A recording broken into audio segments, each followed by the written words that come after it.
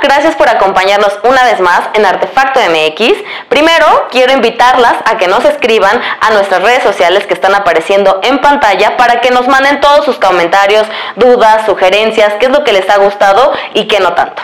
El día de hoy quiero hacer algunas precisiones de todo lo que han estado escuchando esta semana sobre VIH-Sida, porque hay mucha información, pero ¿qué tanto lo tienen claro? Primero, me gustaría que tengan muy claro que solamente hay tres maneras en las que todos podemos adquirir el VIH.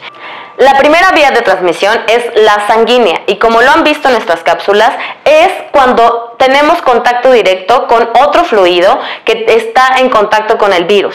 La segunda es la perinatal, cuando una mujer que está gestando tiene VIH y no tiene los cuidados necesarios para tener a ese producto. Y la tercera, que es la más común, es la vía sexual, es decir, el contacto de fluidos en los contactos sexuales cuando no usamos protección.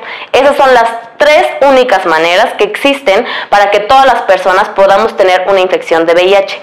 Nada de que es por compartir el mismo baño, ni que nos pica un mosquito, ni por compartir los utensilios de cocina. Solamente son esas tres vías de transmisión. Sanguínea, perinatal y sexual. Así que no se dejen engañar y solamente son esas tres.